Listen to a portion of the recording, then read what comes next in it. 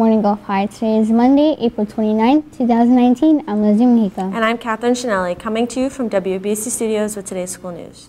The word of the day today is magnanimous, which means courageously or generously noble in mind and heart. Could you use that in a sentence, Catherine?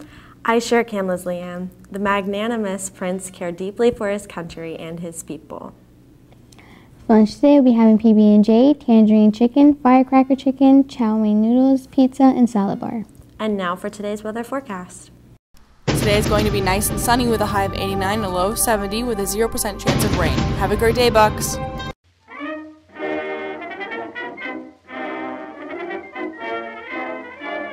Today in history. In 2004, the World War II Monument opened in Washington, D.C. And in 2011, Britain's Prince William married Kate Middleton.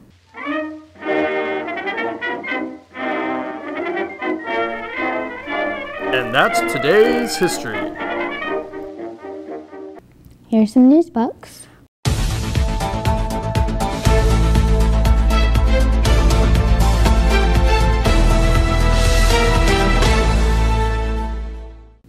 Pop star Louis Tomlinson, grieving his own loss, helps 83-year-old widower check off bucket list after wife's death. After Grandma accidentally dialed wrong numbers, she sparked unlikely friendship when a woman needed it most.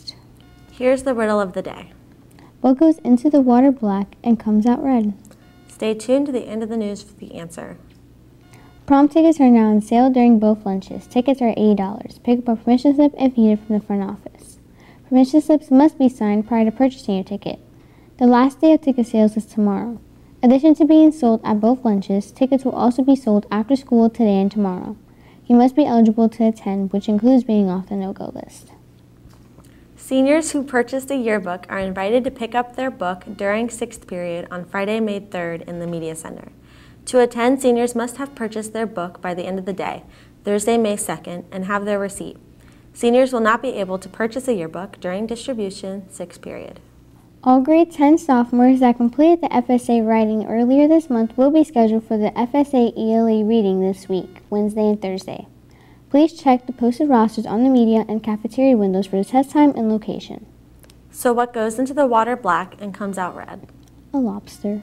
For more information, please refer to the scroller. That is all for our news. Have, a great International Dance Day, Gulf High.